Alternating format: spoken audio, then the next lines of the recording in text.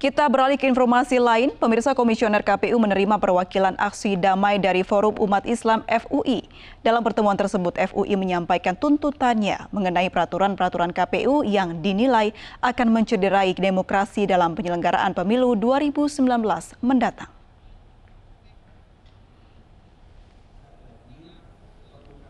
Masa Forum Umat Islam FUI yang melakukan aksi damai di depan gedung KPU, Jalan Imam Bonjol, Jakarta Pusat, Jumat sore bertemu Komisioner KPU Wahyu Setiawan. Melalui perwakilannya, FUI menyampaikan empat poin besar tuntutannya.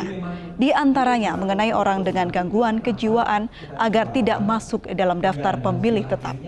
FUI juga menuntut capres petahana Joko Widodo mengambil cuti presiden saat memasuki kampanye dan tidak menggunakan fasilitas negara dalam berkampanye.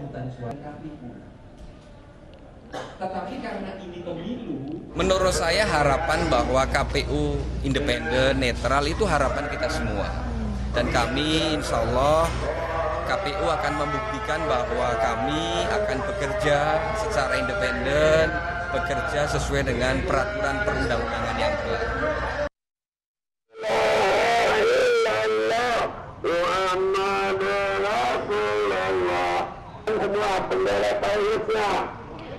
Usai melaksanakan sholat Jumat, masa yang terdiri dari gabungan ormas bergerak dari Masjid Sunda Kelapa, Jakarta menuju kantor Komisi Pemilihan Umum di Jalan Imam Bonjol.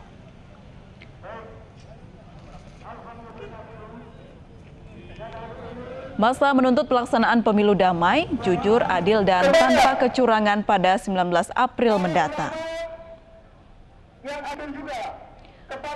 Selama aksi damai, 4.000 personel tim gabungan TNI Polri disiagakan. Bawaslu juga mengawasi aksi ini agar tidak melanggar ketentuan. Di antaranya berkampanye atau mendukung salah satu pasangan capres-cawapres.